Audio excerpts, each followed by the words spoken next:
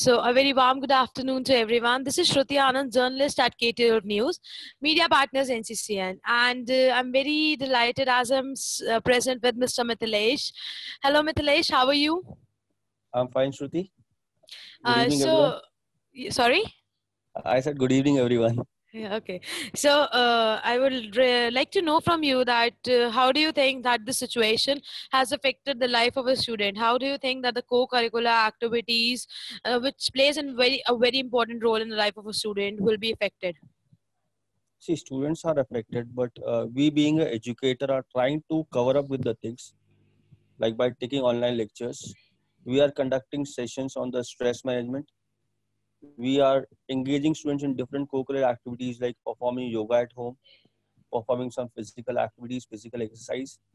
And I may say this is a good time also because students are getting time with their parents at home.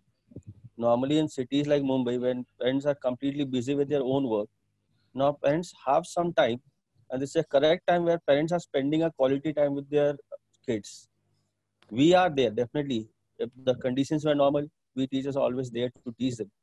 But this time due to corona i may say it is a good time for parents to spend a lot of time with their kids. They can understand their kids. And if you see the surrounding i personally feel that the bonding between the parents and the family has increased a lot. And this is a positive factor. After Yeah, we come out of this after we come out of this condition this will really work. We'll know our families better. Being a teacher i didn't even get time for with my family. So i can like spend time with my family i have more time to think over what to be done in future and definitely this is eye opener for us if we do not respect the nature nature will definitely give us something back Truly, well, very well said. That is uh, actually, you know, it's a fact to be stated. Also, uh, Mithilesh, uh, congratulations on winning the Excellence Award. How do you feel it? As you know, uh, for now you're receiving it uh, virtually. How do you feel about it?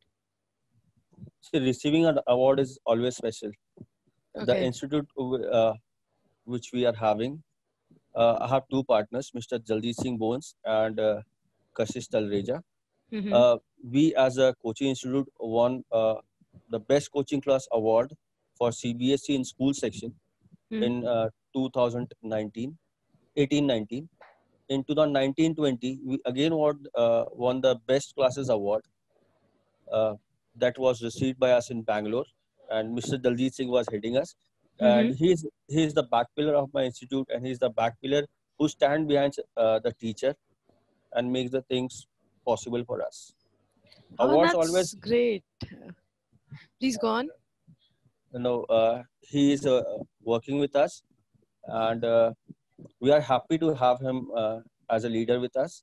As you told that leadership always makes a difference being a good leader helps so if i'm getting this award as a teacher it's i will credit this award to my partners especially to mr daljit Bones, who has helped me a lot to flourish in my career he always says that you focus on your studies i will take care of the rest of the things Oh, that's very well said. That's actually very inspiring.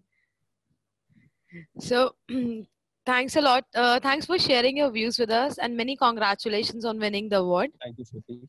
Yeah, so that was uh, me, Shruti Anand, journalist at K12 News, media partners NCCN, and India's largest K12 community network. Uh, present virtually present with Mr. Mithilesh. Thank you.